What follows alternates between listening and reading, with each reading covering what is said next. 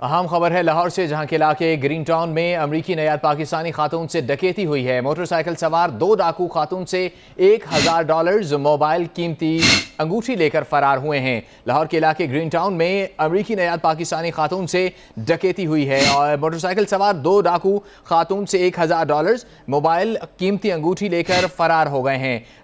ڈکیتی کی بڑھتی ہوئی وارداتیں لاہور شہر میں اور ایک اور واقعہ پیش آیا ہے گرین ٹاؤن کے علاقے میں، جہاں امریکی نیاد پاکستانی خاتون خاتون سے ڈکیتی ہوئی ہے اور اس ڈکیتی میں موٹر سائیکل سوار دو ڈاکو خاتون سے ایک ہزار ڈالرز قیمتی موبائل اور انگوٹھی لے کر فرار ہو گئے ہیں۔ لاہور کا علاقہ ہے گرین ٹاؤن، جہاں پر ڈکیتی کی یہ واردات ہوئی ہے اور بڑھتے ہوئے واقعات ڈکیتی کے فیصل ٹاؤن میں دو روز قبل ایک ڈکیتی کی واردات ہوئی تھی، جس کے ملزم تاحال نہیں پکڑے جا سکے اور ابھی یہ واقعہ پیش آیا ہے لاہور کے علاقے گرین ٹاؤن میں، جہاں امریکی نیاد پاکستانی خاتون سے ڈکیتی کی یہ واردات ہوئی ہے۔ موٹر سائیکل سوار دو ڈاکو آئے اور خاتون سے ایک ہزار ڈالر ڈالرز